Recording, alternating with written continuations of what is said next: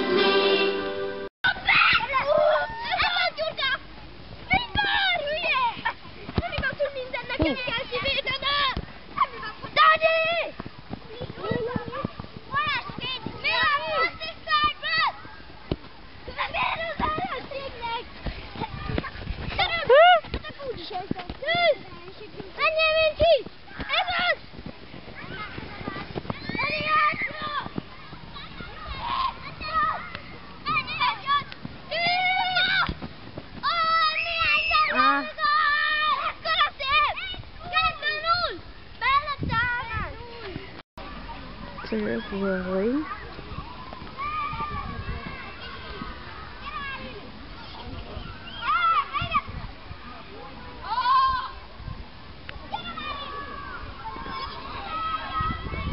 act like they're horses and that's their reins. They tie their scarves together.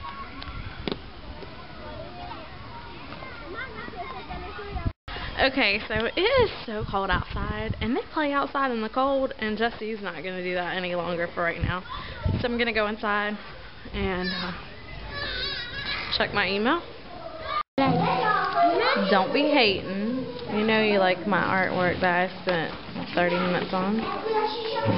And Lily helped me.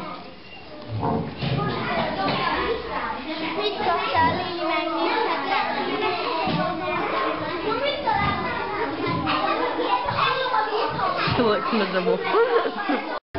so they're eating snack right now, and all I gotta say is every day this boy brings his brownies, and it cracks me up. Like, I wish my mom would fix me brownies for lunch every day. or breakfast, whatever. Mm. Okay, and then look what other people have. Look at this snack. The snack time. And then look. People eat like eat like full course meals when they're eating snacks.